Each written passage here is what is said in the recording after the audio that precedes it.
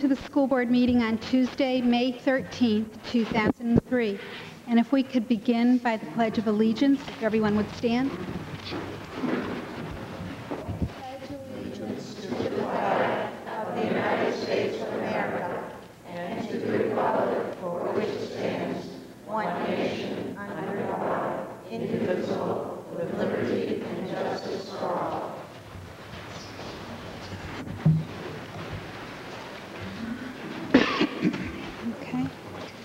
First order of business is adjustments to the agenda.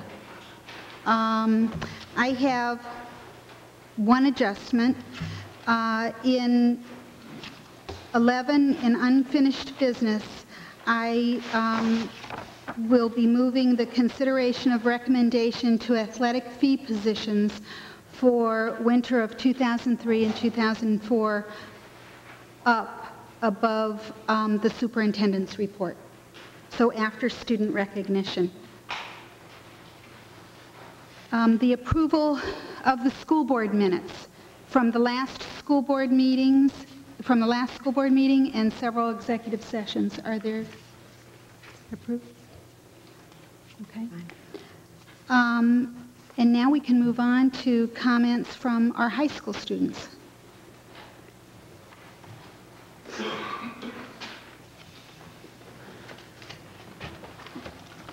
Um, Regular classes are over for seniors right now, which means that the senior transition projects have started. And the SDP um, actually kicked off this morning with a breakfast, but I think it's a great way to give back to the community and transition into college or whatever you're doing after high school. Um, Spring sports are up and running, and literally running the track, but there's a meet Friday. Um, Many students took the AP exams this uh, past week, which shows high learning in Cape Elizabeth. And another thing that I think shows high learning is all these uh, Latin students who are being recognized for doing well on the National Latin exam. So I think they should get um, congratulations to them. Uh, I'd like to, um, pleased to present that the seniors did not damage too much this year with pranks, and I'm proud of my class for that. Um, band concerts last week finished off a great year of music, and if you did band four years, you get a varsity letter in music. I think that's great. Prom is this Friday, and people are getting excited for that. That should be good. I just wanted to thank you for listening to me this whole year. It's been a pleasure. Thank you.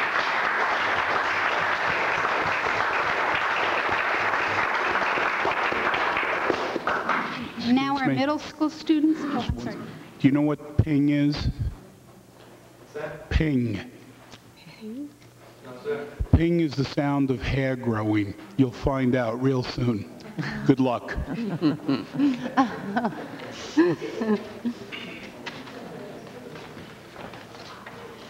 Hi, I'm Elise Minnie Roberts.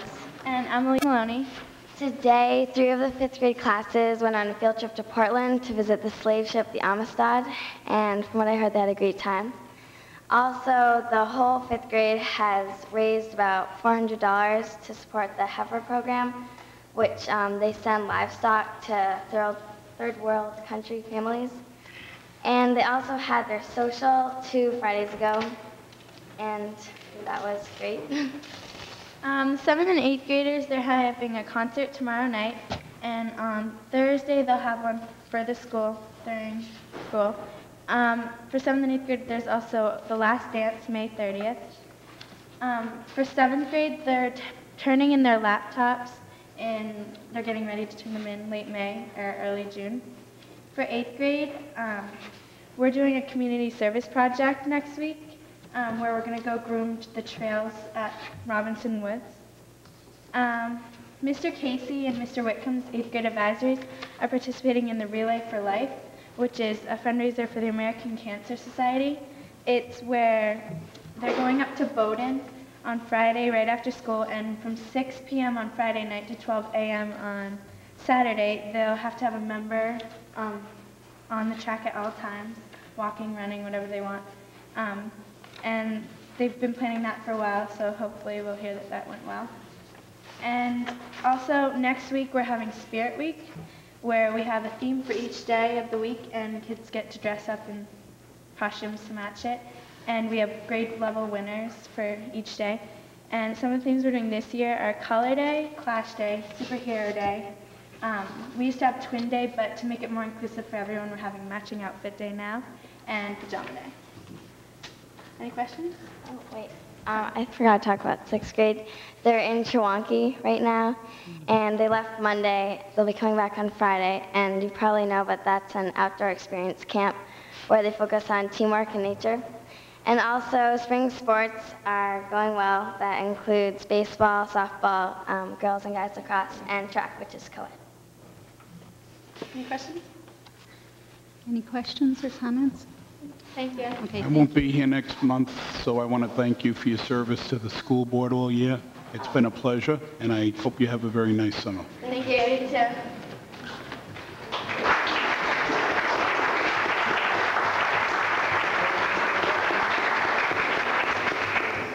Okay. And now we can move on to communications, um, whi- which I have a um, statement regarding the school building projects and the town council meeting last night.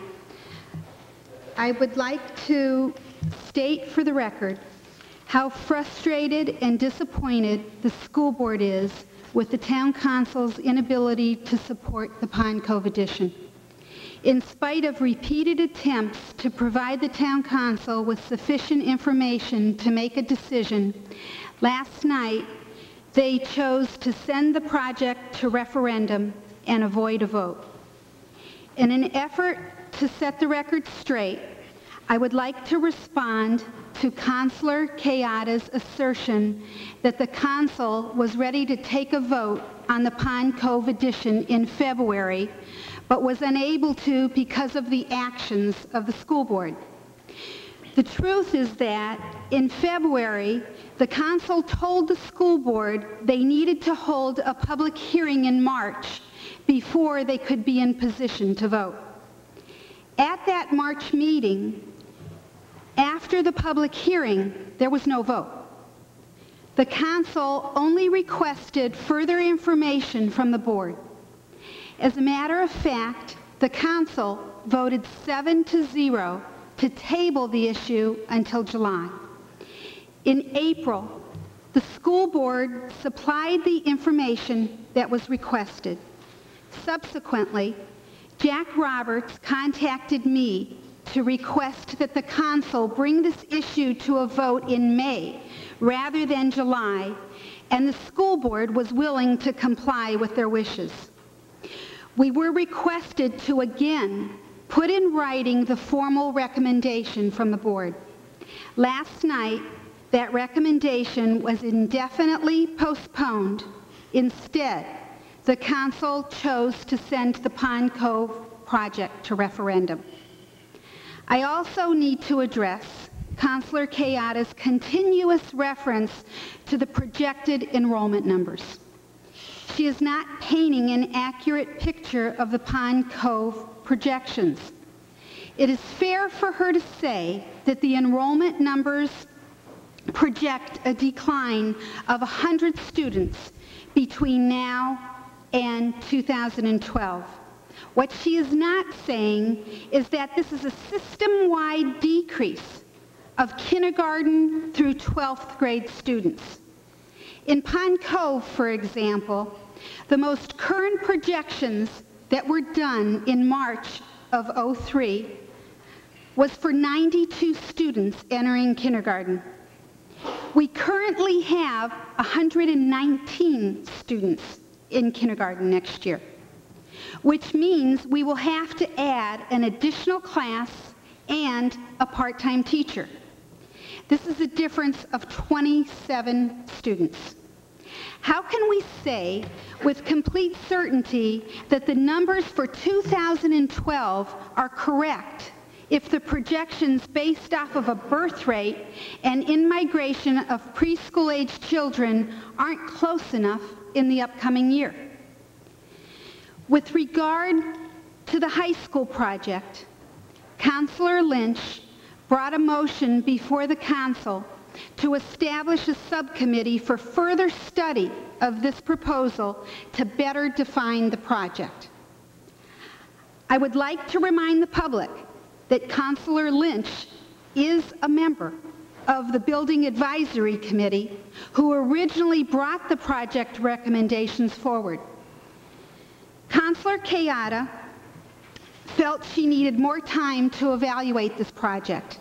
Councilor Carson said she was ready six to eight months ago to make a decision on the high school. And Chairman Roberts said he didn't foresee any changes to the plan that already had been submitted. Clearly, there are mixed messages coming from the council. It is my position as chairperson of the board, and after three years of studying this issue with many other community members and school adminis- administrators, and submitting detailed proposal from three outside companies, SMRT, Planning Decisions, and HKTA Associates. There is really nothing else we can provide to the council to help them make a decision. The school board is the legal decision-making body for facilities within the school district and has spent enough time in preparation of the details for each of these projects. However, if the scope of this high school project changes by the special subcommittee of the council, with members to be appointed by the chairman of the council, the entire school board will have to approve the new project details. According to the Maine Education Statutes, Chapter 609, subsection 15-902, the school board must approve any plan for school construction. In the meantime, the school board needs to move on and prepare for a referendum vote by the community in the fall of this year. Are there any other comments from any other school board members? I'd like to make a comment. Elaine? Um, I'd like to uh, address the same issue this evening um, as a member of the Facilities Committee and the Building Advisory Committee. Um, I am going to have to apologize if I repeat some of the things that Marie has said, but I feel that they do come from a little bit different perspective. Um, but I'd also like to publicly express my disappointment in last evening's town council meeting regarding the school board's recommendation on the Pond Cove addition and the renovation of our high school.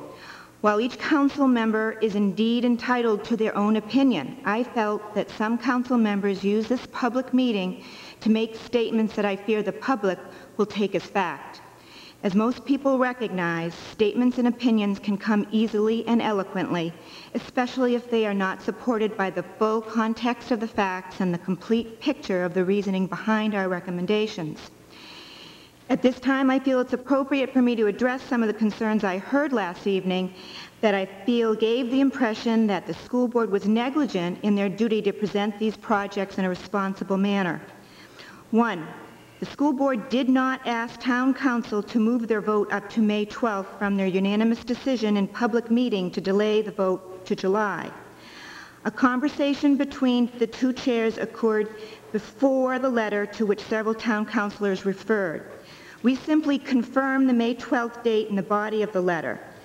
During their conversation, it was the town council chair that requested moving the date up, and our school board chair simply agreed that that would be fine.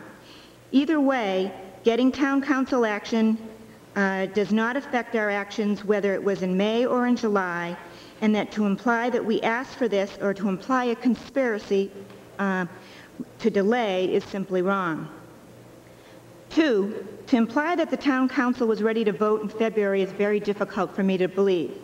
If they weren't ready on March 12th because of the missing summary as opposed to our continual reports, how could they have voted in February? The school board acted under information that a May referendum could have occurred if town council voted in February to go to referendum. No mention was made at that time that council would ask for a public hearing prior to their decision. Because we essentially lost two months Due to this revised process, we felt we could not adequately inform the public on issues regarding this project and thought that November would be our only alternative. Three, I heard the statement that on March 12th, our board chair used, quote, "faulty numbers." I want to be very clear that I do not believe, and this was not true. This statement implied that the sets of numbers that Marie Prager presented were false, even misleading. We presented numbers from a professional firm paid to take another look at our school population growth because past numbers, as Marie has explained, has been consistently, have been consistently underestimated. Despite our meeting with the doubting councilors and the planning decisions firm, the facts remain the same. We will never have enough room at Pond Cove to house four to five classrooms of kindergarten students and to provide the long-term flexibility to house special education needs and Maine State Learning uh, Results programming support. If you are even to believe the numbers, this decrease would have minimal impact on the requirement for the actual number of classrooms needed. This is because that decrease in students will be spread out amongst 13 grades and will not result in a change in the numbers of actual classrooms needed. I'd also like to add that at the March 12th meeting, all attending school board members, the superintendent, two planning decision personnel, and the town manager advised the two town councilors that we should err on the high side of our projections due to the inaccuracies over the past two years in projecting the incoming kindergarten classes and the large degree of in-migration that seems to be occurring in Cape Elizabeth compared to other communities. If this was indeed a short-term problem, I too would consider portables a reasonable solution. But after extensive study on the part of two committees in the school board, I do not feel that portables are a solution to this circumstance, which is a long-term problem that started 10 years ago. It is the school board's responsibility to set its own philosophy for education. If our priority is to maintain the integrity of the K through 4, 5 through 8, and 9 12 school system, it is not up to the town council to decide that we will put our teachers and programs on, quote, diets to pay for the addition, as noted by one council member. When the Pond Cove project goes to referendum, voters and taxpayers will be asked to make their decision based on the knowledge that the average homeowner will pay that additional $30 a year in taxes. Lastly, I think it was a wise decision to take another look at the dollar amount on the high school renovation project. The Building Advisory Committee and the school board should be commended for already analyzing this project and reducing the initial estimate from 9.4 million to 7.7 million. These figures will age as we go through the referendum process, and with construction and renovation costs going up an average of 4% a year, I would support taking a critical look at the numbers and the phasing of the project. I, in no way, would expect that this committee would question the individual details of the renovation after the recommendation of two committees and the school board. Since it is now apparent that these two projects will come before the town as a referendum, I urge all citizens to take the time to educate themselves on the issues and the reasoning for these recommendations. It is imperative that citizens are aware of and they understand all the facts before they can make their educated decision. The citizens will get this chance over the course of the summer and fall before we go to referendum in November, and it is a responsibility that I, as a school member, will certainly strive to accomplish. Thank you. Now we can move on to, Great. Uh, I'm sorry, Kevin. Okay. I sympathize very, very much with Marie and Elaine and the rest of the members of the board, as I am as frustrated as they are in watching this fiasco. I made the choice to stay home last night and watch this on TV rather than be here, and I am absolutely glad that I did. I was appalled by what I, by what I saw. But enough is enough. The school board and the town council have to work together. Every year for the past six years, I've watched a gradual deterioration in the relationship between the two organizations, which is absolutely not a good formula for running a town. Prior to the elections, I suggested at several school board meetings and also in conversation with uh, people running for office as members of the council that following the election, we needed to make plans for a mediation.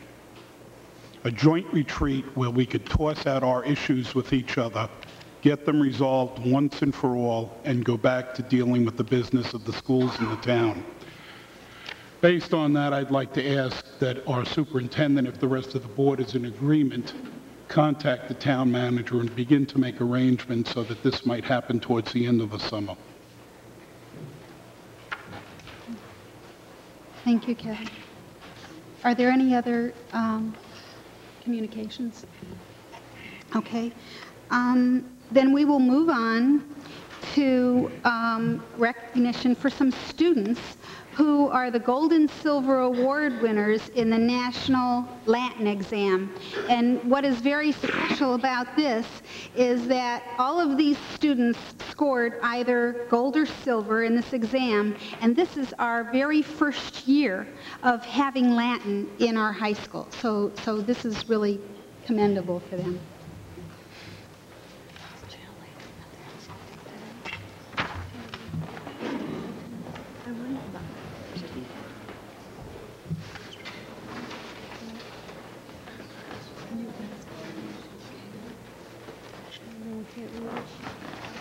And as Marie has said, um, this is quite an accomplishment by a group of students in a program that um, we struggled to get into the budget, and, and I guess that, that, that struggle was, was well worth it.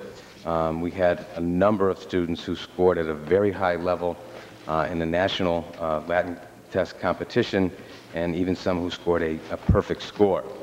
Um, I would first like to recognize, before we bring the students up, since he's, he's here organizing his medals and awards, um, Mort Sol, um, who is the teacher of, of our, our Latin program, and uh, I think has done a, a fabulous job, and would like to first recognize him and award him his certificate for our, recognizing our appreciation. Oh, goodness. Thank you, sir.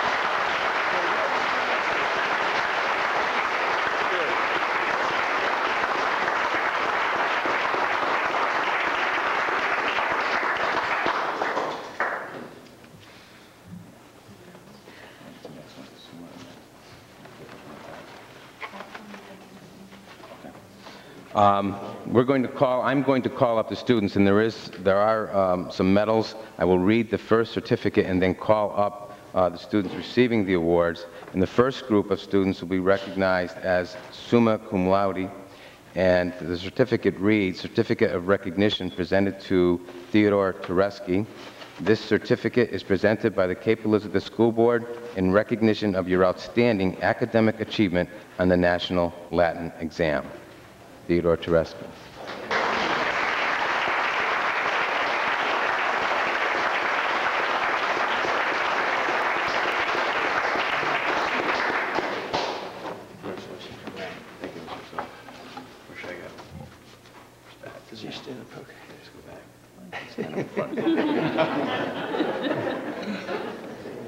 Next presentation is to another Gold Award winner, Leslie Harrison.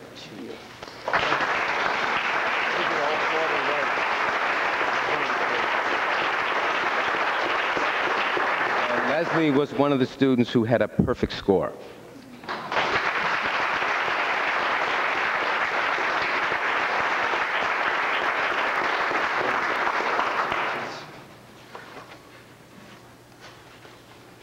Skylar Armstrong, Gold Award winner.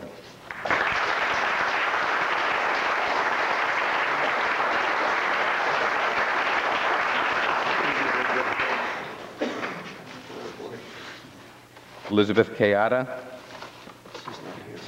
also was a student who scored a perfect score.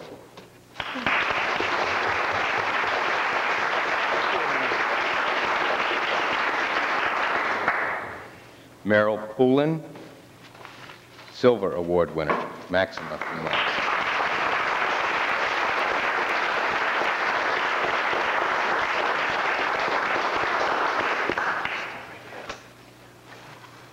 Katie Tamaro, Silver Award winner.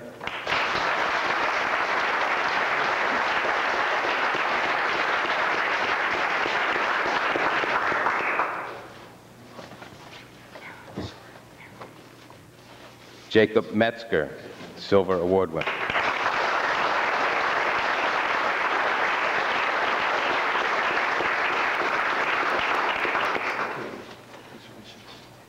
Kelly Steinman, Silver Award winner.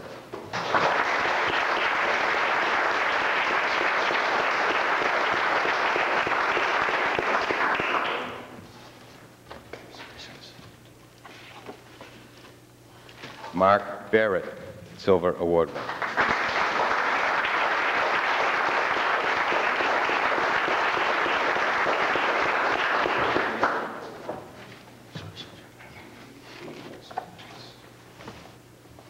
Yanni Perry, Silver Award winner.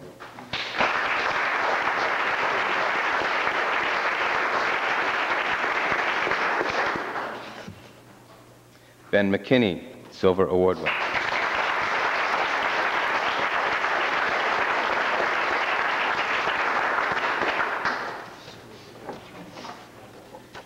Kristen Howe, Silver Award winner.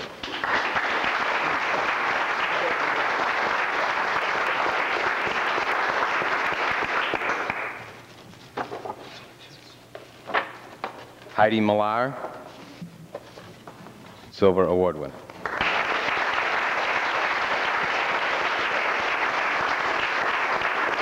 Sam Labasco, Silver Award winner.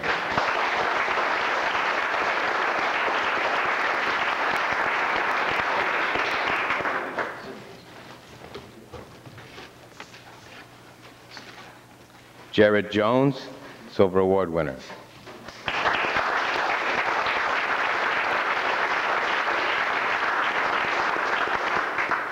Jennifer Crotu, Silver Award winner.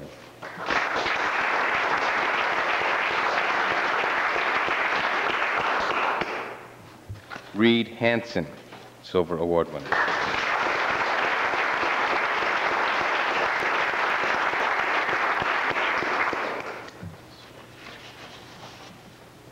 Amanda Luck, Silver Award winner.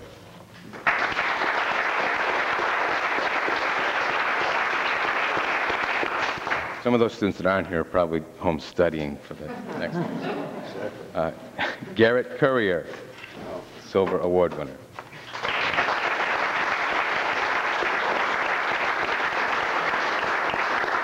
Nicole Lyons, Silver Award winner.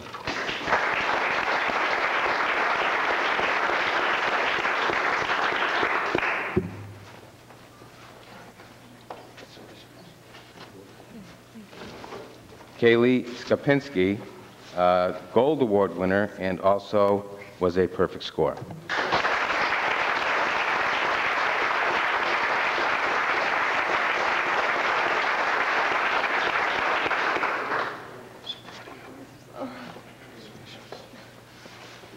Elizabeth Allen, Gold Award winner.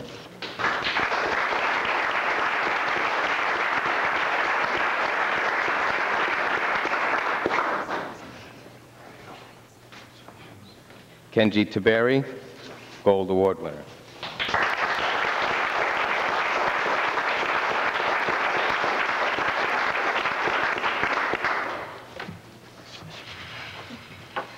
And Haley Elliott, Gold Award winner.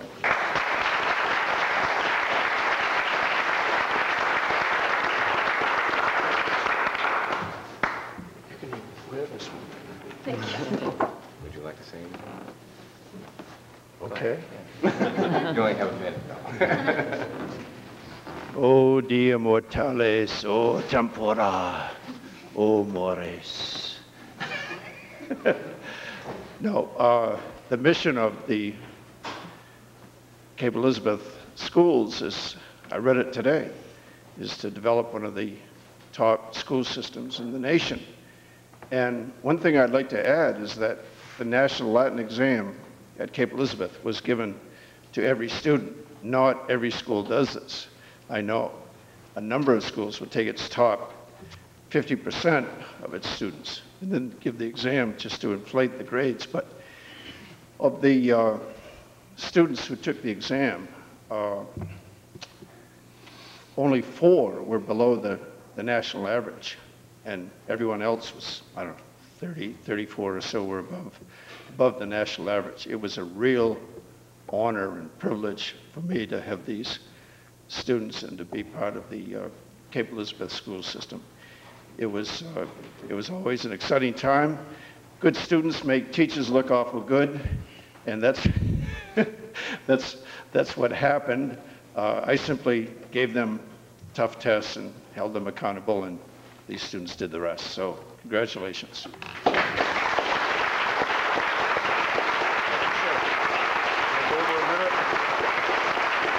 you very much. So, thank you. Thank you. Thank you. Anyway.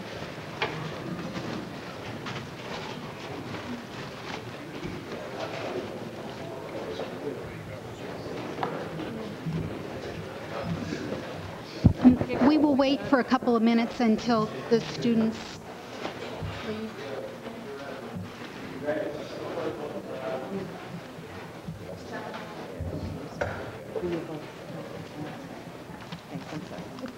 No, you're just a little nervous. Nobody, no. Oh, okay. We- Yeah, we- how well we know that.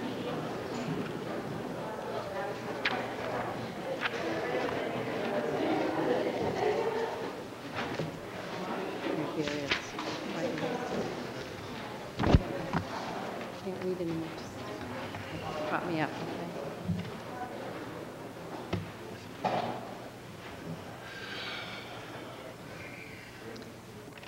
Okay, and now we will move on to um, the consideration of a recommendation to the athletic fee position um, for the basketball coach.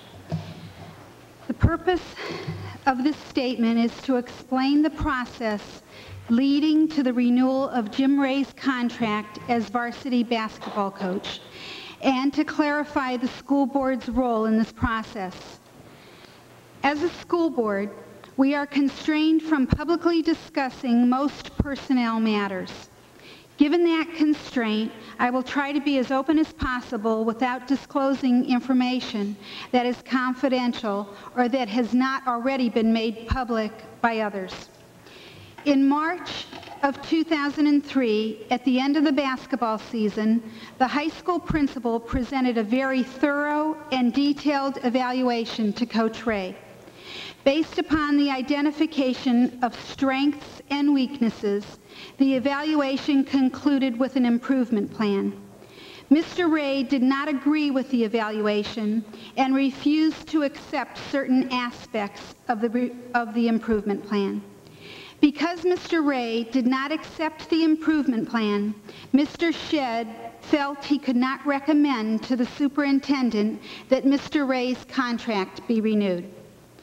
It is important to note that Principal Shedd arrived at his recommendation independently based on direct observations of practices and games and conversations with current and former players and on input from parents with a wide variety of viewpoints. Superintendent Forcella supported Mr. Shedd's recommendation not to renew Coach Ray's contract. However, in a departure from the usual practice, the superintendent offered to Mr. Ray the option to appeal to the school board. The superintendent also recused himself from any further involvement in this matter to avoid the appearance of a conflict of interest. Mr. Ray then chose to retain an attorney to represent him in an appeal to the school board. However, before that appeal occurred, the principal and Mr. Ray agreed to have further discussions about the improvement plan. After several lengthy discussions that included the principal, Mr. Ray, and the athletic director, Keith Weatherby, Mr. Ray agreed to follow an improvement plan established by the principal. As a result, Mr. Shedd recommended that Mr. Ray's contract be renewed. The media coverage has, sug- has suggested that some type of deal was brokered to resolve this matter by the attorneys involved. Although our attorney has been in communication with Mr. Ray's attorneys, the lawyers did not negotiate anything with regard to the contents of the evaluation and not the improvement plan. The principal wrote the improvement plan. Mr. Shedd did accommodate two valid concerns expressed by Mr. Ray regarding points in which the principal felt were secondary. However, the original evaluation and action plan presented to Mr. Ray in March of 2003 has not been compromised. The school board's first opportunity to hear Mr. Shedd's recommendation and to review the facts in this matter was held in an executive session on May 6, 2003, with the principal, the athletic director, and Mr. Ray. Our concern as a school board was twofold. Number one, that the evaluation, the improvement plan, and the administrative recommendation be consistent with the philosophy and beliefs of the school board athletic policy. And number two, that the administration's recommendation be guided solely by the best interests of the student athletes and the school community, and not by any political pressures. After reviewing the evaluation and improvement plan and discussing these matters with Mr. Shedd and Mr. Ray, we are satisfied that the recommendation meets these criteria. And now um, I would ask for uh, a motion to be made in support of the principal's recommendation. George? I'd move that the board um, accept the recommendation of the principal in terms of this uh, assignment to uh, athletic B position for the winter 2003-2004, specifically for boys basketball. Okay, and do we have a second? Second. Kathy? Uh, Comments or questions from the board? I have a comment. Lane? I'd like to go on, on record of supporting Principal Jeff Shedd's recommendation to rehire Jim Ray as boys varsity basketball coach for the 03-04 winter season. My goal as a school board member throughout this whole process was to remain impartial and as open-minded as possible until the school board could hear the facts and details regarding the evaluation and recommendation. The numerous phone calls and emails, both pro and con, certainly drove this process to the point of review, but it was the content and not the numbers of such correspondence that caused me the most concern. Regardless of how I felt about the content of the evaluation and the public statements, I needed to be able to know that our policy was not compromised and that the process and evaluation was consistent, fair, and effectively communicated. I am secure in knowing that all Cape Elizabeth coaches have been evaluated in a manner as approved by the new policy. I am also comfortable with the answers to many of the questions the community has raised regarding this issue, ranging from the qualifications of the evaluator to the neutrality of the decision makers. That being said, I feel that there is the possibility that not all of our coaches were aware of the change in athletic policy and the potential consequences put into place last spring. Although the new coach's handbook clearly states these expectations, I am not convinced that preseason conferences with all coaches were accomplished, allowing review of these new policies and the required goal setting. It is because of this that I am willing to support Jeff Shedd's recommendation and most importantly, the goals for this coaching positions uh, next year. I will continue to stand in support of our new athletic policy, especially its philosophy and beliefs. I look forward to improvement in our athletic department in regards to the hiring, evaluation, and training of our coaches. At the same time, I recognize the opportunity for the school board to improve in developing a more comprehensive policy in areas of, uh, such as conflict of interest and our appeals process guidelines. I want to thank Tom Forcella for recusing himself when speculation arose regarding impartiality. I am very comfortable that the process was not compromised by a conflict of interest. I would like to thank Jeff Shedd for agreeing to take on the evaluation process with the agreement of both Keith Weatherby and Jim Ray back in December. And finally, I would like to thank all the parties for agreeing to take another look at their recommendation and their willingness to accept the action plan for what I hope will be the betterment of the basketball program for all our athletes. Thank you. Other comments? Susan? I have decided to vote not to support the recommendation to rehire Jim Ray as basketball coach. I want to begin by saying that my vote is in no way a reflection of the job that Jeff Shedd has done in his work on this recommendation. From my perspective, Jeff, Jeff has contributed a tremendous amount of time and energy to this process. Without his expertise, his experience, and his integrity, we might never have gotten to this point. To him, I am personally grateful.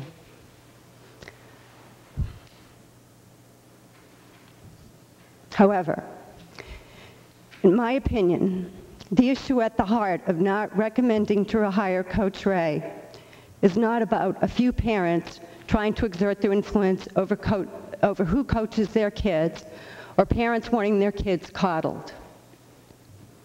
It is not about coaching styles or coaching philosophies. And it surely, in my opinion, is not about a conflict of interest.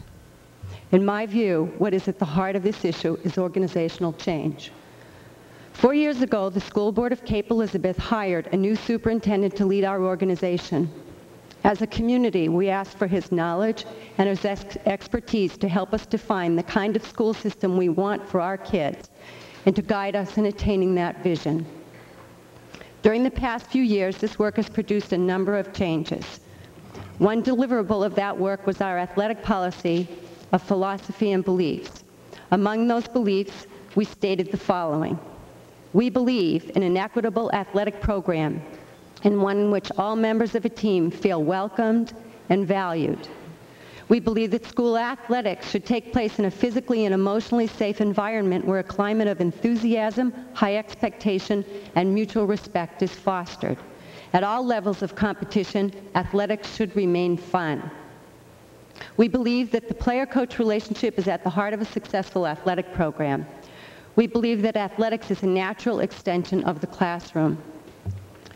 It is my understanding that each coach was given a handbook with these philosophies, values, and guidelines in a meeting prior to the start of each athletic season during the past year.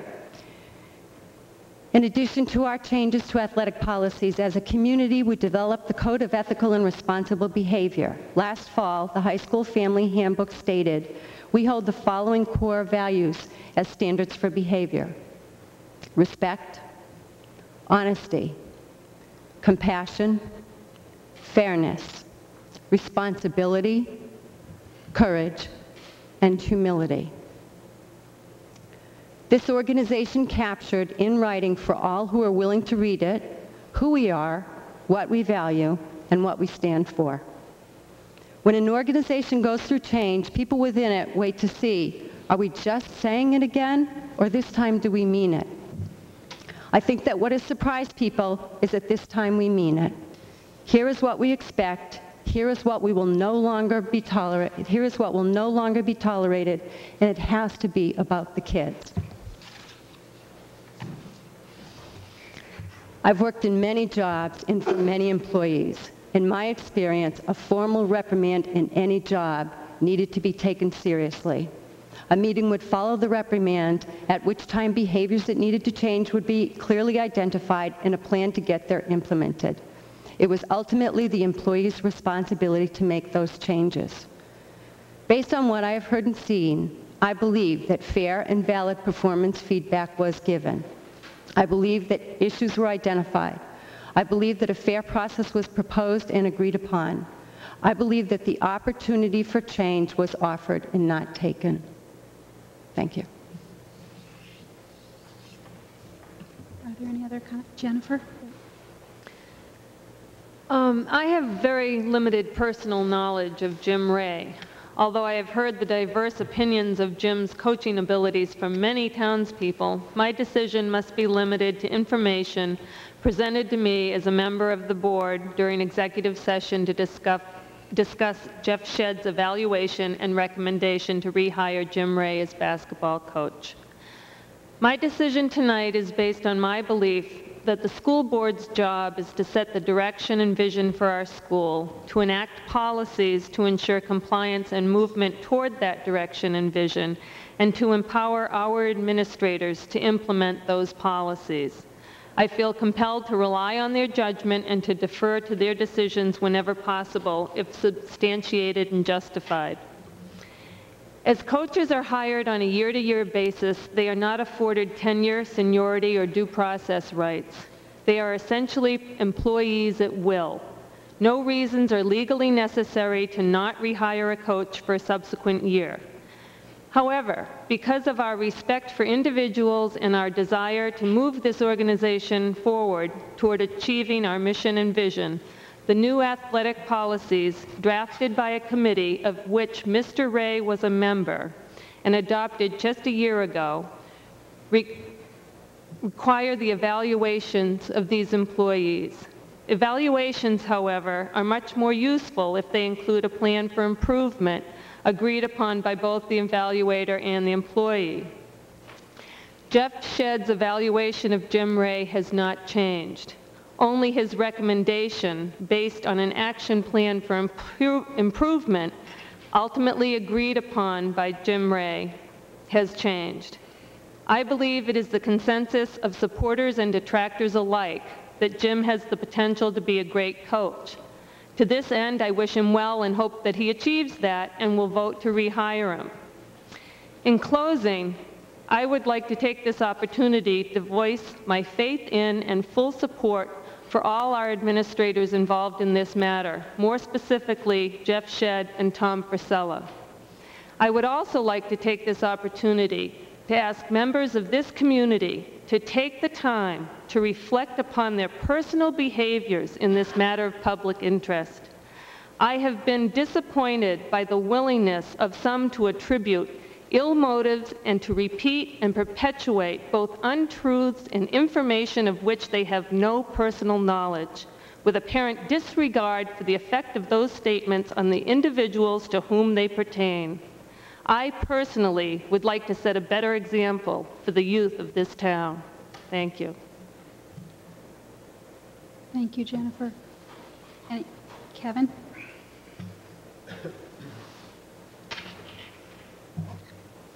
When I ran for school board six years ago, I wrote myself a note. And the note said, it's about the kids, stupid. It's not about you, meaning me. Several years ago, I still had that note in my wallet when I ran again. We then had a situation where I had to compromise a long-held basic tenet in my life that you are innocent until proven guilty. And the reason for doing that was because of my overriding concern for the safety of the students. I still hold that note. I don't have to carry it around anymore now that I've been reelected for the third time. I don't need to keep reminding myself that it's about the kids. It becomes second nature to me. My vote will speak for itself. I will vote no. But I do want Principal Shedd and Dr. Forcella to know that I appreciate their efforts in this matter. I particularly appreciate Dr. Uh, Principal Shedd's taking on this rather unpleasant task, and I do not challenge what he has brought forward to us. But what I do look at is there has been no change in the evaluation other than the wording of, I cannot recommend you at this time versus I can recommend you. So what's changed? The only person who can answer that question is Mr. Ray. We can't answer it because we're not allowed to divulge that information. That information is available. All you have to do is get the right people to release that information. In the meantime, there have been uh, a number of references to the coach's handbook. I have multiple copies of the coach's handbook here. It's a public document. If anyone from the media wants it, it's here. It Makes interesting reading. That's all I have to say on the matter. Thank you, Kevin. Um, Are there any other comments? Just, George? just very briefly, um, I, like the others, have had a chance to evaluate the procedures followed here. Um, I've had a um, ample opportunity to discuss the matter with everyone involved. Um, I certainly have had my opportunity, as have the others, to provide my input to the coach very directly, which I did um, verbally, and then in a confidential letter that was issued from the school board directly to the coach. Um, I believe that uh, there has been an opportunity for, fear, for, for a fair and thorough evaluation of all of the facts in this particular case. Um, I endorse and I support um, Jeff Shedd's recommendation. I fully subscribe to the details that Marie read in the board statement, um, and I certainly um, uh, support 100% and have full confidence um, in both our principal Mr. Shedd and our superintendent, Dr. Forcella, as I suspect um, the rest of my colleagues on this board do as well. Um, I therefore will vote to accept um, Mr. Shedd's recommendation. Okay, Thank you. Any other comments? Something. Kathy? Um, I want to say that everything's been said that needs to be said here, I'm sure.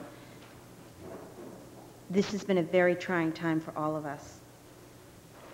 I hope as a community that we can really be reflective of what we've done here and where we've taken our school system, and that we can look more to the future, reflect on what we've done, think about the comments, think about the remarks, think about some of the behaviors, and remember what our real mission is, to move our children and our system towards a higher goal. And I want to hope that we're on that road today.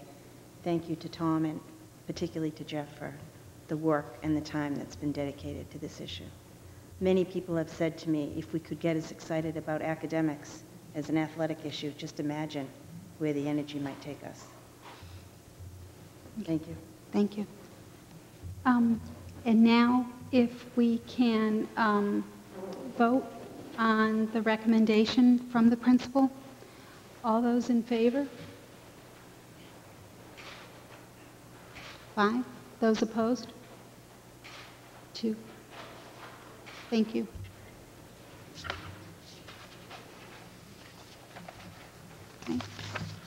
Next, we will move on to the superintendent's report. Tom? I have a a few items that I would like to share. First, as many of you are aware, um, over the last few days, we have, one, take a break?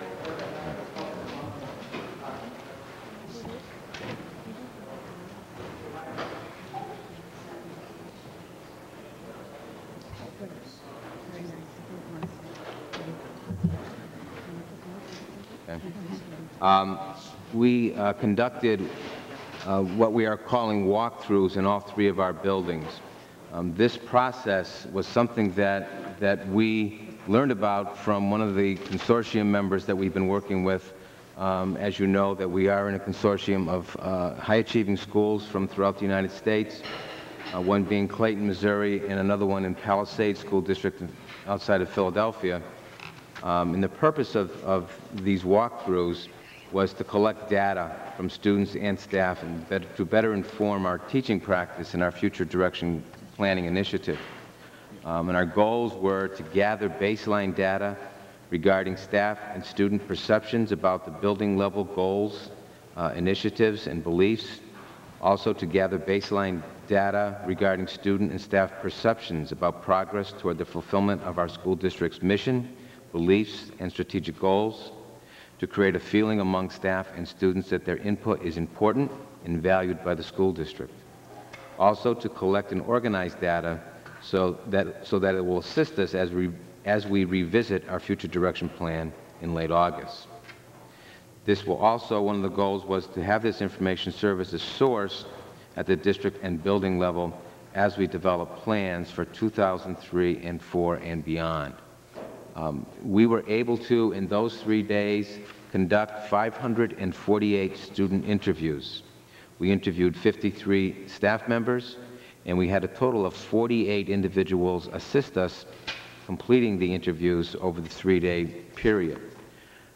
Just to give you a flavor of the kind of information we're getting out of this, um, some of the student questions had to do with them, students talking to us about how they felt they learned best in their classes, whether or not they felt their teachers used a variety of teaching techniques, um, whether they felt challenged in their classes.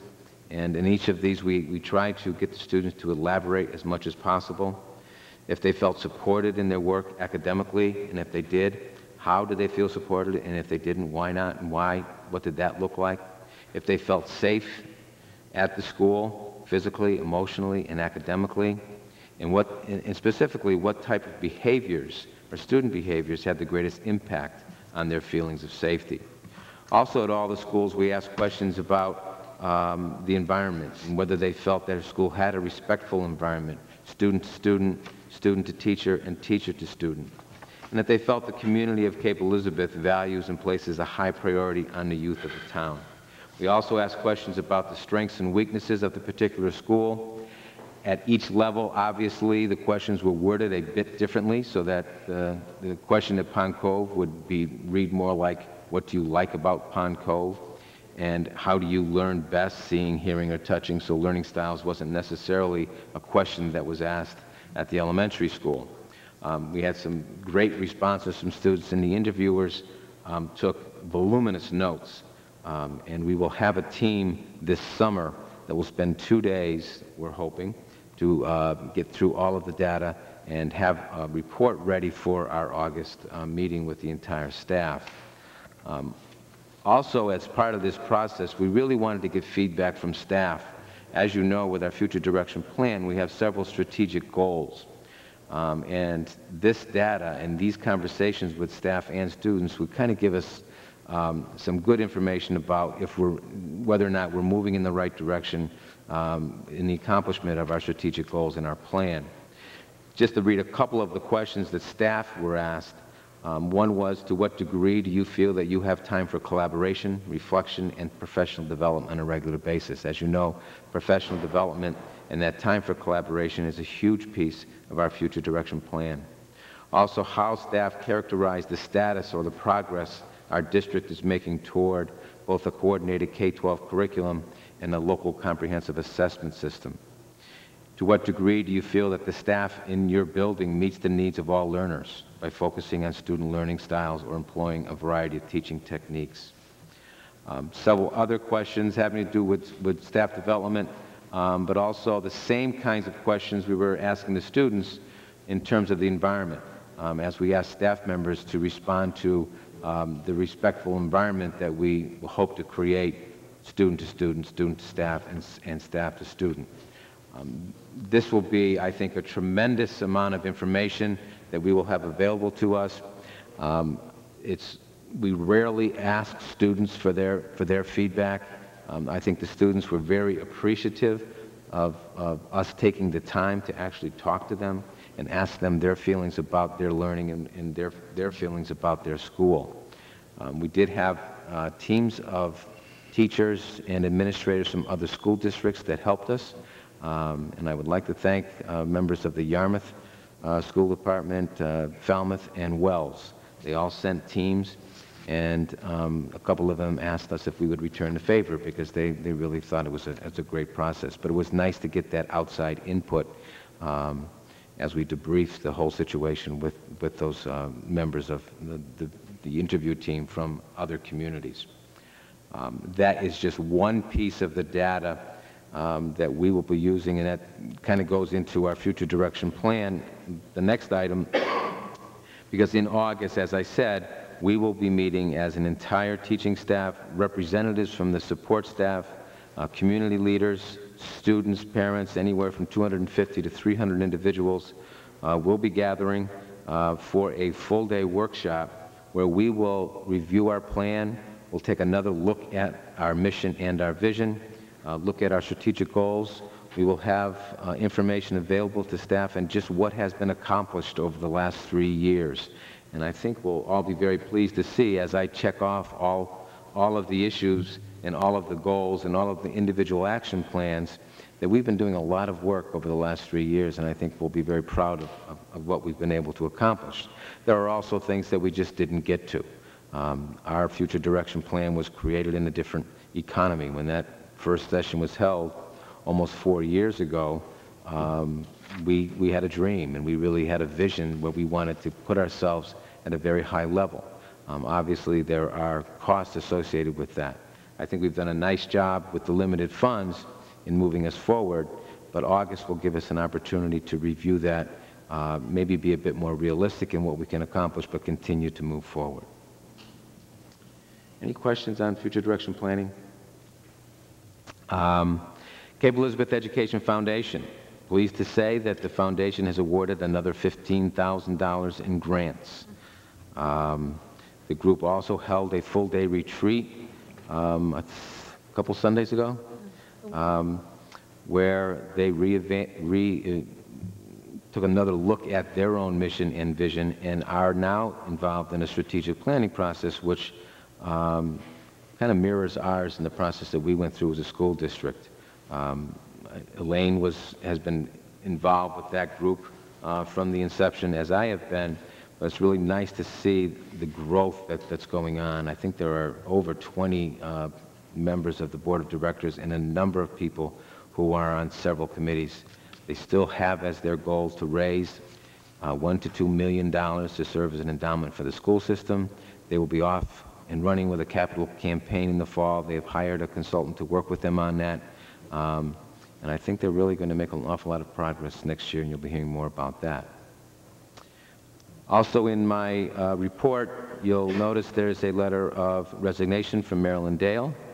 And lastly, a change of status. Um, longtime teacher, administrator, school leader, uh, Michael Efren, um, will be moving from full-time status to 0.6 status uh, next year. Hmm.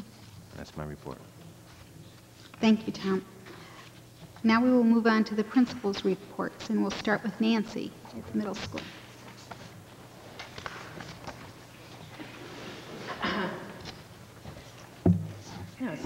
Good evening. It's a little overwhelming to be up here tonight only because I see my colleague Keith Weatherby back there, and I know he has a stopwatch on us. Um, and he hasn't been at all of our meetings this year, but the pressure, Keith, of having you out there with that watch, I don't know. Um, we'll give it a try. Um, first of all, last Tom mentioned the walkthroughs and just wanted to share with you a few comments from the people in our building. Last Monday was our walkthrough day, and several staff members especially stopped after the day and said, what a great day.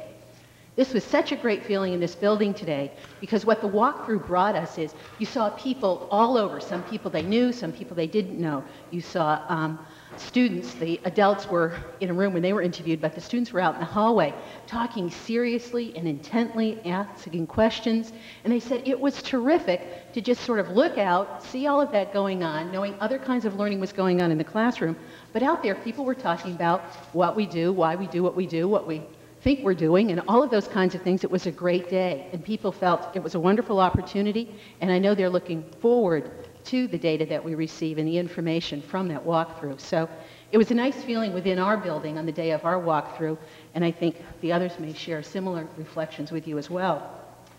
For any anxious sixth grade parents out there, it is Chewonki Week, which means it's always the week you don't have to worry about watering your lawn.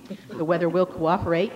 And um, we have heard, I checked in with Chewonki yesterday afternoon. I talked to the assistant director, a young lady named Katie, and she said everyone was doing well. In fact, when I talked to her about 1.30, everyone had just left the central encampment area and was marching off, as she described it, to set up their tents and camps and get their camps um, set up. She said with lots of energy and lots of smiles, even though there had been some drizzle there throughout the day.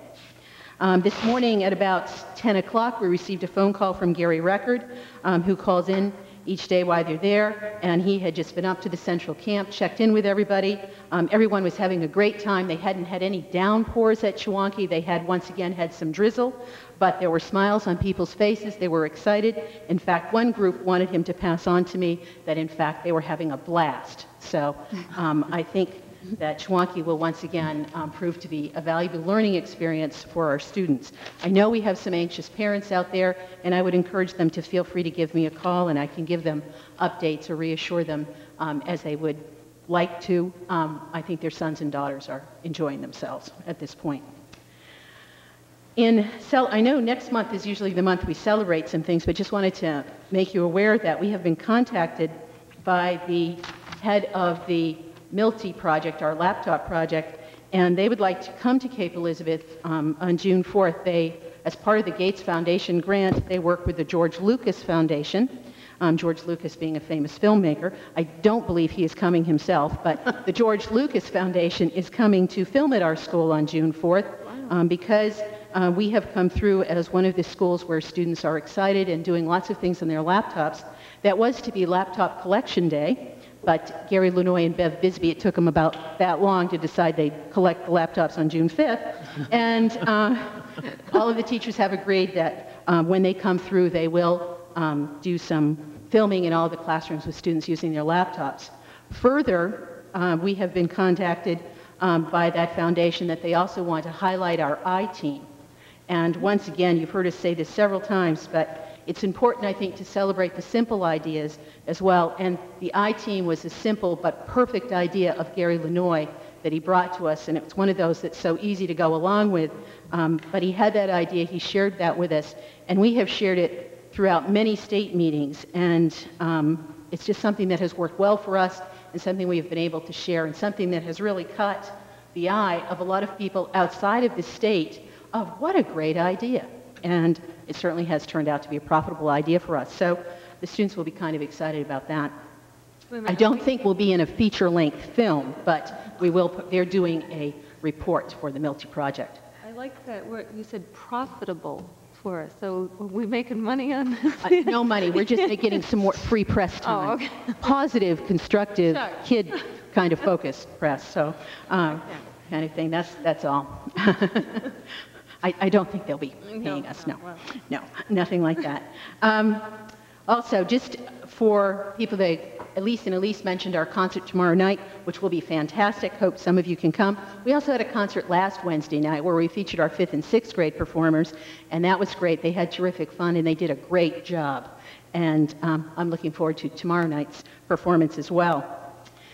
They did mention the last dance, um, probably in their excitement because they're eighth graders. They forgot to mention that's also the day of the last social uh, for the fifth and sixth graders.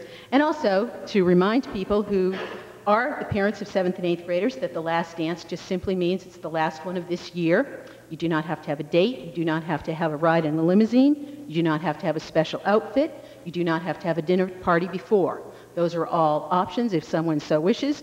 But at our dance, you will see people who are very dressed very, very elegantly, all the way to the kids who show up in their t-shirts and shorts, and um, just to have a good time. So it's last, because it's the last one of the year. Nothing else special about that. Let's see, um, just to make people aware, um, because I know some families plan vacations early, we have received information, as have all the schools, of changes in the MEA. Um, they are going to be given a two-week period next year, the first two weeks in March, and that is a change from one week in late November, early December, and then the week, the first week in March. So it will be the first two weeks in March for anyone listening out there making early plans. And then finally, I would be remiss tonight if I didn't pass on from the middle school our sincere thanks to Susan Steinman for being a board member for the last three years. We have a special affinity for Susan because um, first started working with our school seven years ago, and we so well trained her in the middle school that whenever she sees any organization connected with education that has MS in it, she assumes it means middle school. And we'd like to say, Susan, we support that perception, and we think that's perfect. So um, keep up those good thoughts. But want to thank you for your dedication to all of our students and all of our programs, to all of us, for pushing us to be better than we thought we could be, and supporting us along the way. So thank you for your dedication to us. We'll miss you, but we still have your phone number. Uh, We know what your profession is, and we know you can still be a help to us in the middle school. So thank you very much. Nancy, I have a question. Sure. Last night, um, on the news, they were talking about the seventh and eighth grade laptop program in the state, Mm-hmm. and they had mentioned something about a pilot program um, that would be in certain schools in the state that would continue on through high school. Do you, are you aware of that? I'm not aware of that, and although they've contacted us to be on these films for free, they haven't contacted us about being one of those pilot schools. Um, But if we find out anything about it, we'll let you know. We do have a meeting with um, all of the organizers, the Bev Bisbee, Gary Lenoy, and I will go to a meeting on June 2nd. They may mention something at that time, um, but I haven't seen anything in the numerous emails we get from them yet, so I'm not sure what that is. They may have those schools already selected, Um, but I haven't seen anything. I don't think any of us have seen anything where we could have applied to be one of those schools. But if there's a chance, we'll do it. Okay, thank you. Um, Pond Cove, Tom. Uh, Good evening. I just wanted to start by uh, publicly thanking the Pond Cove Parents Association for the amazing teacher appreciation luncheon they put on last week. They do it every year, and somehow it seems to get better every year. And that's just one example of the quiet but efficient way the PCPA works behind the scenes to support the teachers and students at Pond Cove, and I really appreciate it. So does everyone else. Incidentally, the PCPA is, is sponsoring the third in a series of book discussions uh, aimed at parents to come talk about issues that kids and families deal with as their um, kids grow up. We, uh, at our last meeting, managed to get 30 people, which you know, it can't be me. We've got 30 people, so we're going to try our luck against Little League and have a meeting on June 3rd with, uh, and the book will be the biggest job we uh, will ever have, the book written by the people who work up at the high school in Bath. And uh, as Nancy said, if anybody out there is listening, we're not giving quizzes on the book. If you haven't read it, you're still welcome to come and listen and contribute your thoughts. Another climate-related uh, activity, Tom and Nancy have already talked about the walkthrough, and we, uh, at the end of each of the three sessions, Tom gave a brief overview to each of the schools about uh, just a brief summary of what was going on. Um, and the response at Pond Cove was very, very positive about the teacher-student relationships particularly. And I have to admit, hearing that, it's something I almost take for granted because it's so strong at Pond Cove. And that reminds me to publicly thank the teachers, too, for all their hard work and dedication that makes that such a strong bond. So between the uh, parental involvement and the teacher dedication, we have what we call social capital. No money, Jen, just have it. And, we, and Tom also mentioned that in the student interviews, the word focused came up a lot. So I expect that we are building up a lot of academic capital at the same time. So uh, once again, praise to the students and parents of Cape Elizabeth. Just to catch you up on the looping survey, I think I mentioned that we, uh, we were planning to do one around uh, parent conference time. And by handing those out, we got about a 50, over 50%, 50% response from the families. And 80% of those support looping in general, and here's the bigger question, specifically support it for their children. We think that will get us over the hump with the little um, placement glitch, glitch that we encountered the past couple of years, which means at this time next year we might be uh, reinstituting looping. Uh, team leaders have taken a look at the data. We've discussed how this may or, might, uh, may or may not happen, and they'll bring those thoughts back to the faculty. Uh, finally, I just wanted to let you know that no, we're not going to star in The Matrix. No, we, that would never happen at Cove. But uh, Shari Robinson and I went to Chicago to the annual meeting of the American Educational Research Association. Sounds boring, doesn't it? We went, actually went during vacation and, and loved it. We, uh, we were semi-invited because we've been involved with lesson study groups, researchers, and implementation sites around the country. So uh, responding to email, we decided to, uh, to go, to go, go to all the lesson study sessions, and we were treated as equals, which is kind of nice. Uh, even though we, um, wore, we spotted name tags that said Pond Cove School, Cape Elizabeth, we were uh, sitting next to the leading experts in the field, not just of lesson study, but in staff development, professional development, a lot of other things. It was a great time for both of us. Uh, we learned a lot. I reported briefly back to the district leadership team, and I have some ideas about uh, how to apply that knowledge back at Pond Cove. Oh, one other thing Nancy didn't mention about the MEA, speaking of the MEA, it's been shortened. It's going to be English, language arts, and math, and science and technology. The other parts of the MEA have been dropped. so next year when we report back to you, yes, I see you. I see those looks on your faces. We'll explain more later. Any questions? No. Okay. High school, Jeff?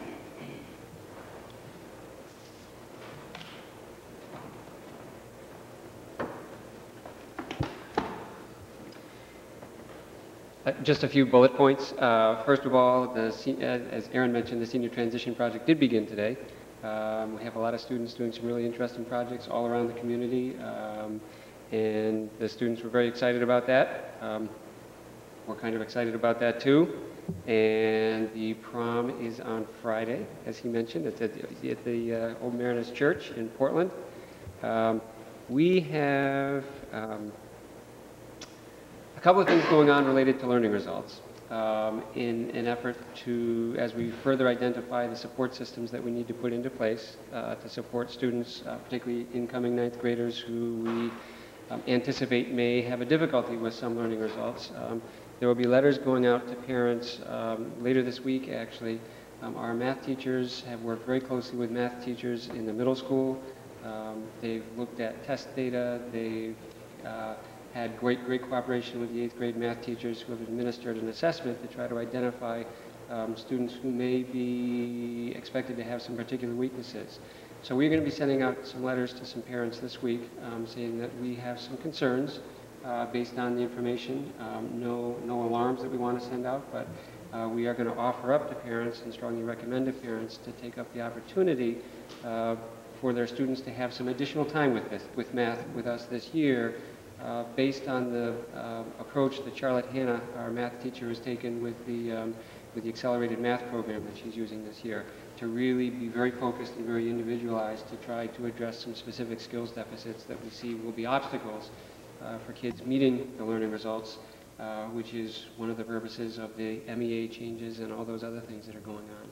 The other thing that we're close to, close to putting finishing touches on although it's not a done deal yet, uh, is we've had a significant amount of feedback over the last couple of years since I've been there anyway, uh, from parents and lately from some students as well about the need to have a more systematic approach to introducing kids to some study skills uh, that are important to success at the high school.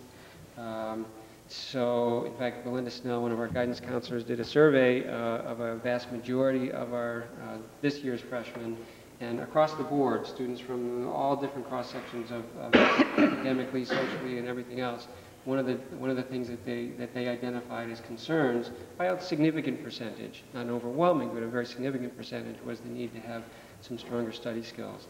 Uh, so we intend to introduce those to ninth graders in a systematic way, and then um, to have those skills that are taught reinforced in the ninth grade classrooms next year by their classroom teachers which is critical so that the skills are not simply taught in isolation.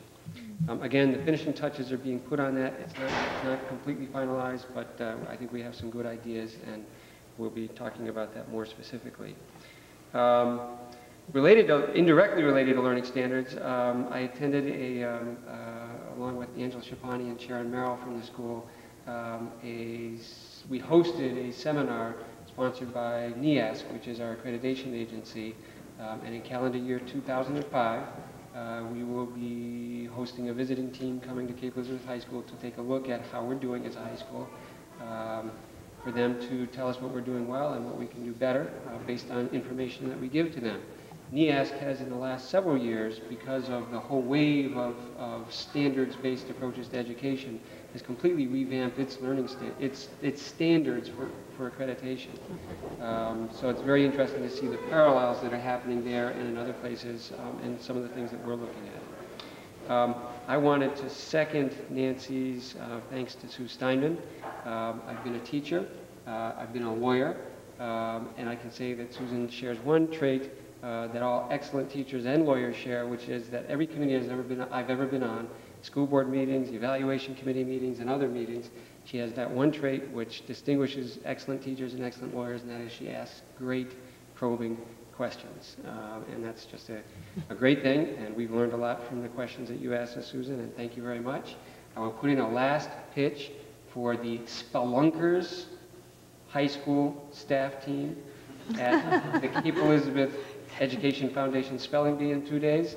Um, we're not in favor of betting, but if you do anything informally, spelunkers, I think have, have, have some real talent. Any questions or comments? Thank you. Thank you. Now we can move on to the committee reports. Um, The Finance Subcommittee, Elaine?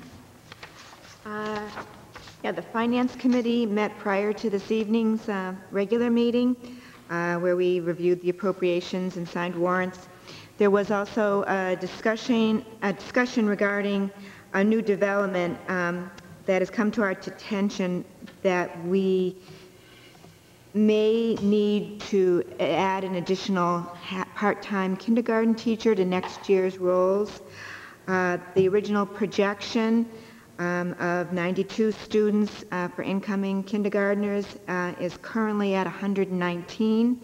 Um, This new position would be um, uh, at the cost of $23,750. And it was the feeling uh, of the board that we would wait until September, um, and then we would possibly need to go to town council to ask for supplemental funds. Um, There were concerns expressed that with our minimal $70,000 contingency fund, we would not be comfortable deciding to use nearly one-third of that amount so early on in the year. Um, And that was it. Okay, thank you, Elaine. Um, And now we move to the Policy Subcommittee. Susan? Um, Yes, we um, met uh, last Wednesday and have um, brought forward uh, a great number of policies for second reading and quite a number as well for first reading. Um, And the next meeting, I'm sorry? Thursday. Oh, we met on Thursday. I apologize. Thursday. And um, we will be meeting one more time this year, June 4th, Wednesday, to um, kind of review what the plan was for the year, where we are against plan, and set goals for um, people who will be moving forward with the work next year. I thought the stack of policies was the whole policy book. Feels like it. Um, Now we'll move on to unfinished business. And again, Susan, um, consideration of policies for second reading. Um, Okay, you have in your packets um, each of, copies of each of these policies, and from a process standpoint, I think what I'd like to do is just read through the titles, and um, if anyone has comments, fine, otherwise we'll, we'll move along. Is that fair? Okay. Um, First, policy for second reading, school system commitment to standards for ethical and responsible behavior. System-wide student code of conduct.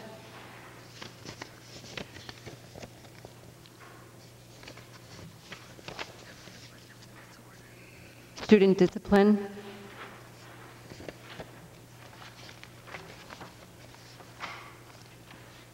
Suspension of students.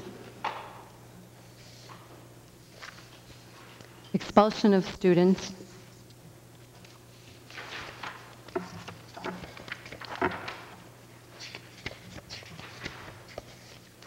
Weapons violence and school safety.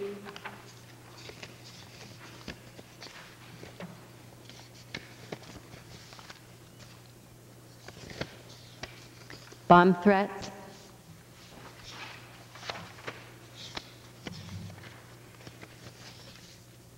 Hazing, harassment and sexual harassment of students, student discrimination and harassment complaint procedure.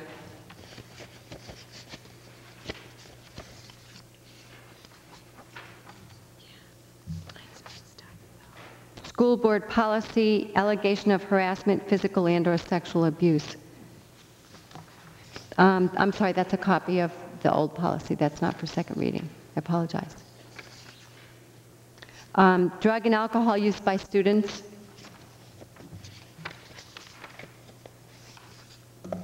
Tobacco use and possession. Tobacco use and possession administrative administrative procedure. Student conduct on buses. Student conduct, um, I'm sorry, student locker storage facilities. Um, And that concludes the package of code of conduct policies for second reading. Should I, Um, what did we miss? Class size, Um, th- I didn't consider those code of conduct. oh, I'm Should should we Okay. vote separately on code of conduct, or?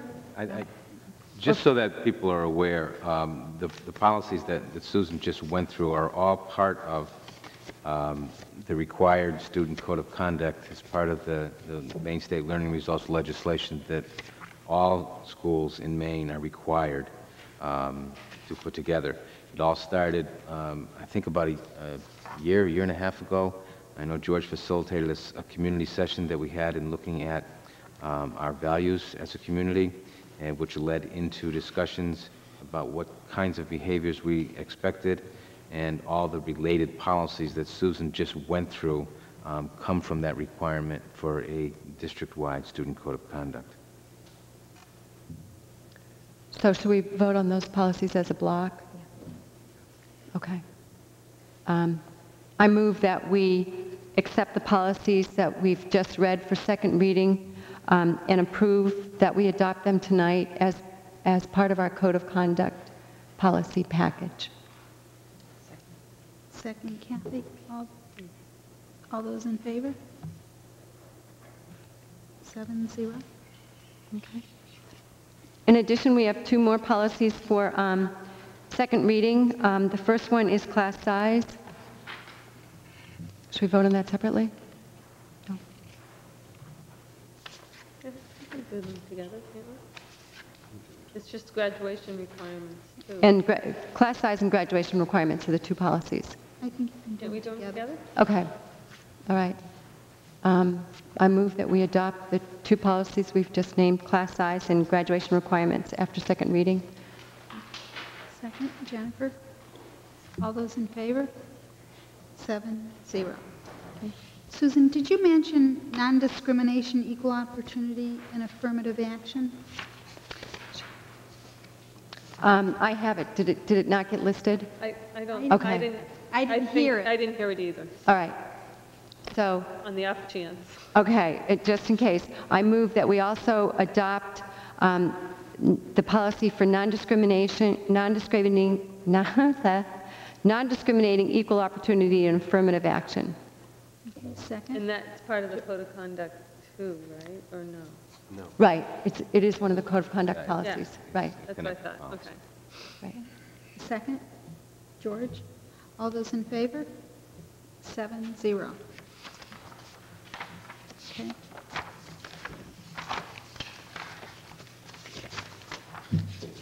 And then we'll move on to new business. Um, The first is the superintendent's recommendations for spring athletic fees. Uh, I would like to recommend the following individuals at the middle school uh, as spring athletic positions. Joel Schroeder, eighth grade boys lacrosse. Joe Doan, middle school track. David Kinsella, middle school track. Scott Labby, expansion baseball. Steve Martin, seventh grade softball. Uh, Elizabeth McClavick, seventh grade lacrosse. Beth Courier, Ann Carney, and Jake Jackson, all seventh grade, uh, seventh grade lacrosse who I assume these individuals are volunteering their time. That's why there is a zero next to the hours. I think they're putting plenty of hours in, but they're just not getting paid for it. Um, And then uh, also under athletic nominations, uh, spring nominations, um, Ben Bluen, JV Boys Lacrosse, uh, and Zach Herbert, JV Boys Lacrosse. Okay, do we have a motion to accept these recommendations? Um, Elaine? Uh, I mo- move that we accept the superintendent's recommendations for the spring uh, athletic fee positions um, as noted. Okay, and a second? Jennifer? All those in favor? Seven, zero. Second is a consideration of the recommendations to co-curricular fee positions. And there's one co-curricular fee stipend recommendation, that is at the high school, uh, Win Phillips for the high school literary magazine.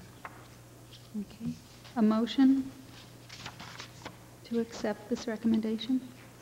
Elaine? I move that we accept uh, the recommendation for Win Phillips as the literary magazine co-curricular position. Okay.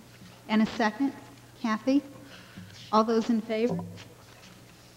Seven, zero.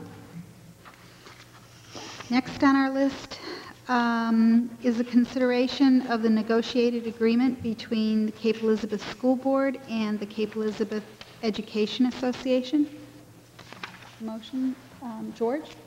I would, um, I would move that the board accept the proposed negotiated agreement between the Cape Elizabeth School Board and the Cape Elizabeth Education Association. This is specifically the teacher's contract. Um, And a second? Susan? All those in favor? Can can I just make a comment before we vote? Yes. Yeah. Just want to um, just acknowledge the, uh, the work that went into uh, the creation of this contract. Um, We had this year, um, in negotiating this new three-year contract, adopted a collaborative-based bargaining approach. Um, And it was really, truly amazing uh, to see what can be accomplished um, when everyone at the bargaining table um, has the same goal, and that was very clear, that goal of improving education in Cape Elizabeth. As I said, it is a three-year contract, and I just want to express my thanks to um, the uh, sort of fellow negotiators uh, on the school board, um, to the superintendent, and certainly uh, my thanks and appreciation uh, to the negotiating team uh, for the Cape Elizabeth um, Education Association. Okay, thank you. Sorry. That's okay. Um, All those in favor? Seven, zero. Uh, Next is the considera- consideration of nominations to teachers' positions in which we're hiring now. Yes, we have a few uh, nominations for teaching positions for the 2003-2004 school year. Um, The first uh, is a special education teacher, uh, Cape Elizabeth High School. Um, I would like to nominate Elaine Brassard. Okay, do we have a motion for the superintendent's nomination? Uh, Kathy? I move that we accept the nomination of Elaine Bradford for the special ed position at the high school. Okay, and a second? George? All those in favor? Six, seven, seven, zero. Also, um, at the high school, another special education teacher, uh, Mia Jordan. Okay. Do we have a motion to accept this recommendation? Susan? I move that we accept the superintendent's recommendation for special education teacher at the high school, Mia Jordan. Okay, and a second? George? All those in favor? Seven, zero. Next, And next is a special education teacher at uh, Pond Cove Elementary School, uh, Jacqueline Petrillo. Motion for this recommendation, Kevin? With great pleasure.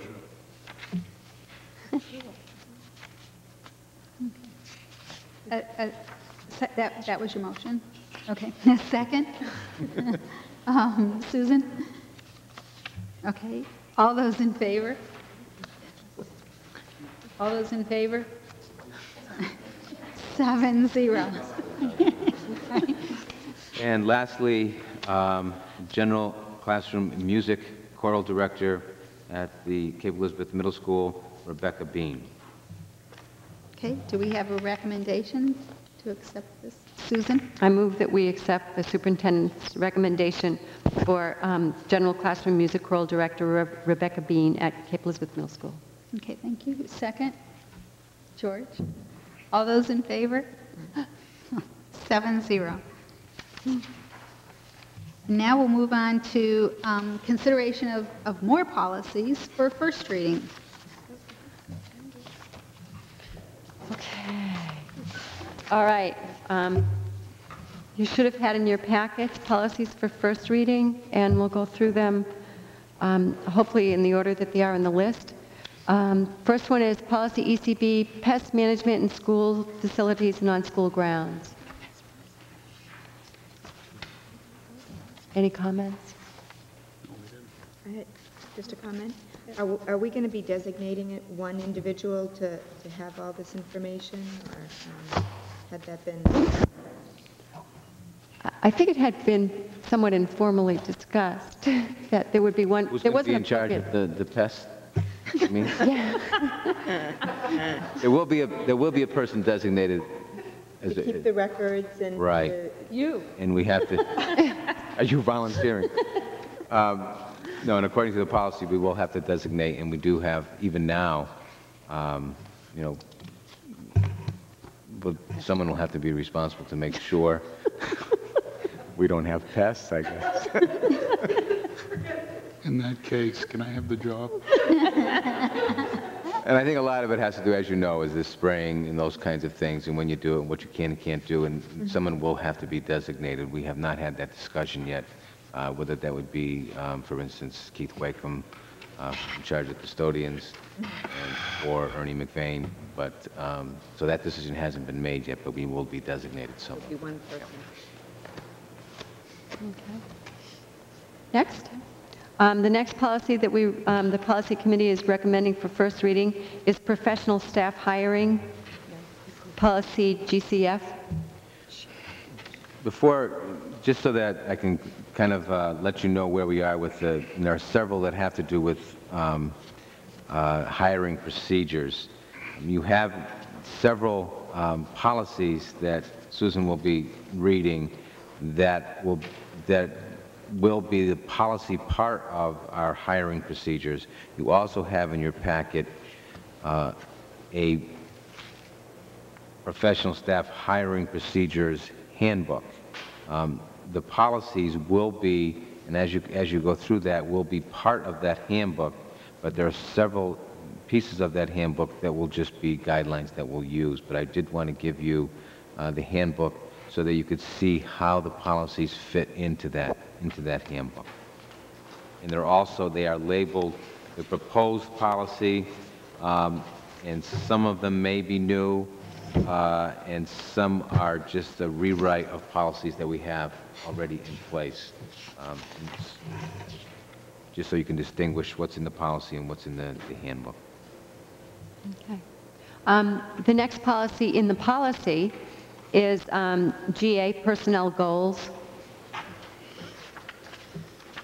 Any comments? Okay. Um, The next policy in the policy is recruiting and hiring of administrative staff. Comments?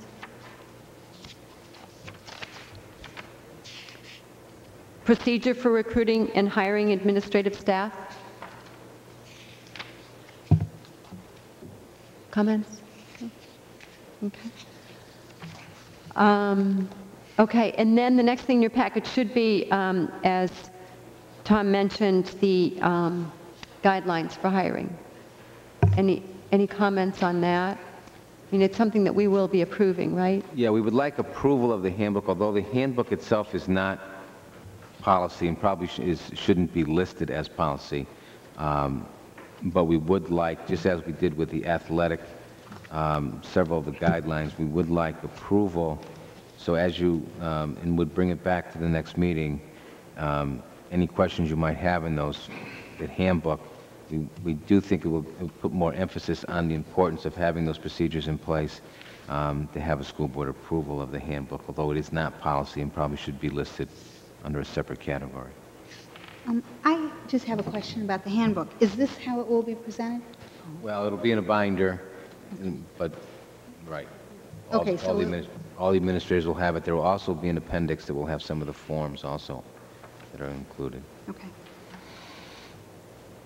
I have one question. Um, Under the professional staff hiring, uh, item number C, uh, that advertising positions shall be over the largest appropriate geographical area, um, with minimum advertising for the position being in-house posting. So does that mean that, that if a position becomes available, it is up to the administrator, they can do something um, as sm- geographically small as simply posting it to the largest appropriate geographical area, meaning what? I'm not really clear. Well, all advertising, if you look at the guidelines, would, the administrator wouldn't do it, it would all go through the central office. So that any advertising, in-house and the external advertising will all go through um, my office. So the administrators wouldn't be advertising any positions. So the, the decision as to whether there would be newspaper ads or um, a search that would go outside of the current school system would be left up to whom? That would be left up to the superintendent. Now, if you look at the policy, there also is um, a- statement that we will, in- when a position is open, um, advertise uh, to the greatest extent possible in local newspapers, um, so that, that statement there is, that, that is a bare minimum, but the normal course of events would be that there would be advertising outside of the school system.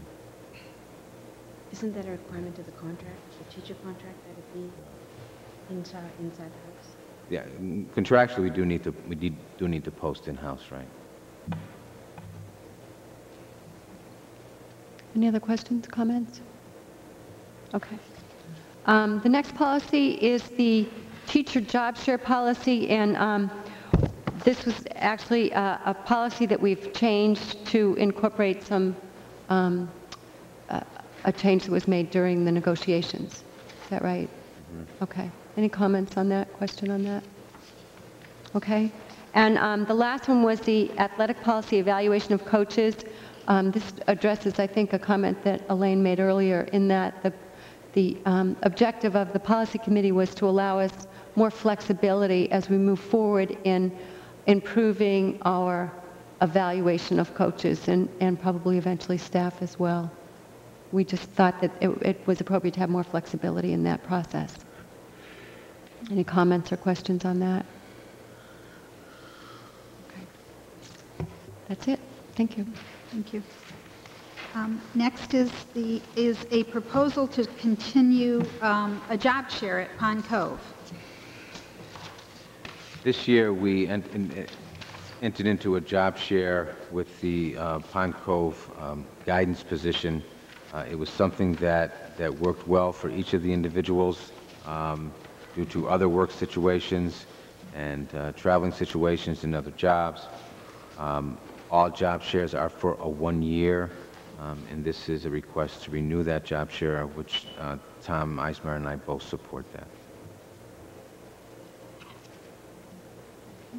Do we have a motion to accept this um, proposal? I'm, I move that we accept the proposal to continue the job share position at Pond Cove School. Okay, thank you. A second. Jennifer? All in favor? Seven, zero. Next is the superintendent's nomination of teachers to continuing contracts. Okay, you have in front of you a list of teachers um, eligible for continuing contract status for the 2003-2004 school year. Um, And I would like to just read through, read through the list. Um, At Pond Cove School, grade 3, Holly Hertel.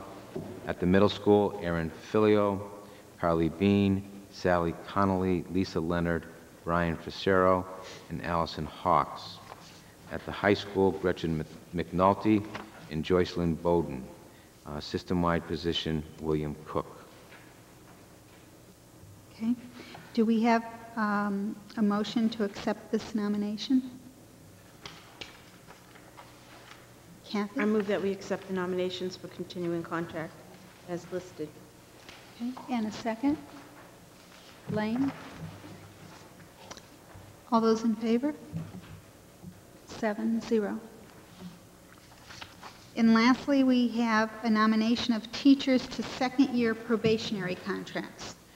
Those teachers uh, recommended for second-year uh, contracts included Pond Cove School, Eric Nielsen, uh, Karen Rand, Patricia Wright, and Karen Ne- Niehoff. And those are the two job share uh, personnel we have. At the middle school, uh, Megan Crabtree, Anne Marie Dione, Cheryl Joyce, Sarah Kinsella, and Evan Solander. At the high school, Erica Stump Bergeron, Allison Coulter, Courtney Farrell, Tom Lazat, Michael O'Brien, Dawn Pons, and Morton Soul. System-wide positions as occupational therapists, Christine Kennedy and Delbert Peavy. Uh, Dr. Fazal, I made a mistake on the list. Karen Rand shouldn't be on there. Okay. Karen Karen Niehoff? Guidance. She is on there, isn't she? So Karen Rand is not supposed... Karen, it's supposed to be Karen Niehoff instead of Karen Rand. We read Karen Niehoff. Okay. Yeah. But Karen Rand shouldn't be. Shouldn't be on the list. Okay. She's not on the list. She's not on the list. She'll get the job. That was my mistake. I apologize. She wasn't on my list. Yeah, she wasn't on my list. Oh, okay. Okay. Um, Do we have a recommendation to support the nomination of teachers to second-year probationary status? Kevin? I move that we accept the superintendent's uh, nominations for second-year probationary contracts. Thank you. Uh, Second? Kathy? Sure. I have a comment, Yes. and this applies to the earlier group of uh, teachers as well. I still haven't met most of these people. If I saw them on the street, I still wouldn't know who the heck they are. And I again repeat my request that some sort of arrangement be made so that this board can meet our teachers. Okay. Thank you. Um, All those in favor? Seven, zero. And tonight is um, Susan's last tonight up here. Um, And I- I- we want to thank her for her three years of service to the school board. She certainly has worked very hard and contributed tremendously to school board policies. Um, I think our our policy committee has never been quite as organized. Um, And under her direction, they've really accomplished a great deal this year. Um, We would like to, however, have a special presentation for Susan at our next school board meeting. So we ask her to come back um, in the audience next month. And by the same token, I'd like to welcome um, Ann Belden, um, who has sat very patiently through our meeting tonight, which I think is one of the longest ones we've had in a while. Um, And we are all looking forward to having you uh, next month join our board. And now we can, I'm sorry. I'm not going to be here next month. Susan, I am sorry I I won't be here, but on the other hand, I'm delighted that I won't be here because I am taking my annual mental health break far, far away. And it's been a delight working with you, and I really appreciate your efforts on, on the, uh, the policy committee. I hope somebody can, uh, you've left some big shoes to fill, and uh, I'm sure I'll see you uh, between now and then, but uh, I did think this was my, I guess my last opportunity for a public comment, so thanks very much. It's been fun. Thank you. Okay, are there any other comments from school board members, or you can hold it until next month?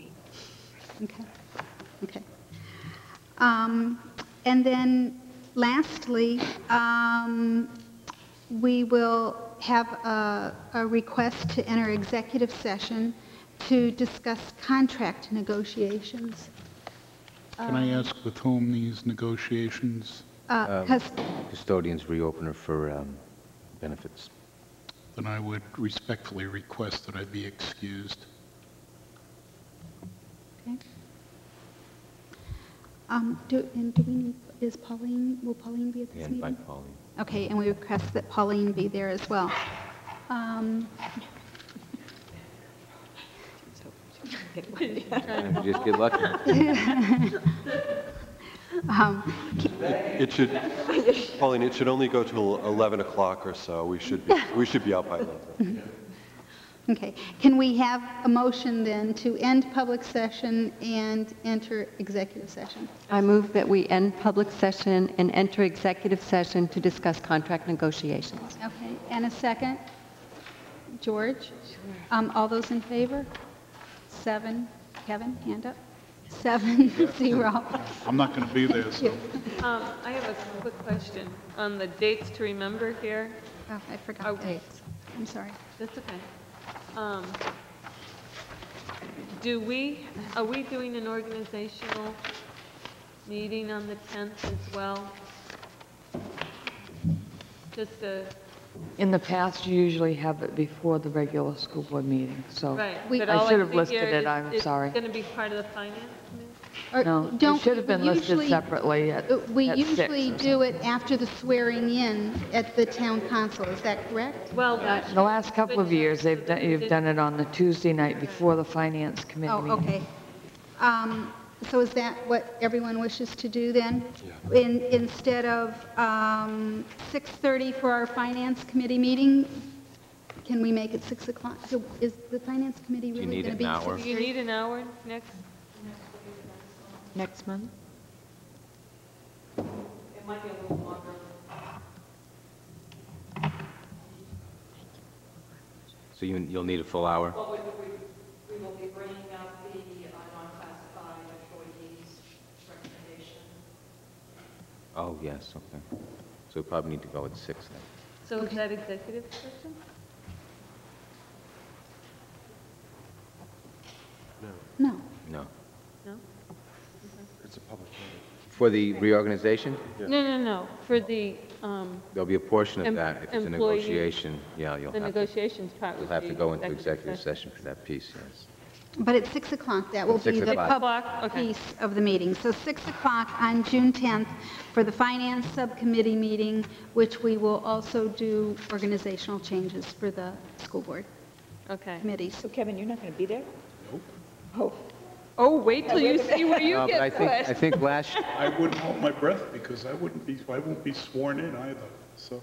but I think last year, Kevin, you, you informed us of what committees you wanted to be involved with. So I think you missed it. That was the same. last year, this is this year. Oh. Pest control. Pass, pass, that's control, that works for me. So we will get you before you leave. Okay. Um, Then, then, just quickly, let me mention all the meetings that, that I neglected to um, remind everyone. The next school board meeting, school board workshop will be May 27th at 7 PM in the high school library. Uh, We will be discussing the superintendent's evaluation and the school board evaluation? Hmm. Okay. Um, And the policy subcommittee meeting Wednesday, June 4th at 12 noon. Um, The finance committee, uh, the finance subcommittee meeting, we just discussed at 6 o'clock instead of 6:30 in the William Jordan Conference Room, followed by our regular school board meeting at 7:30 on June 10th. And that's it.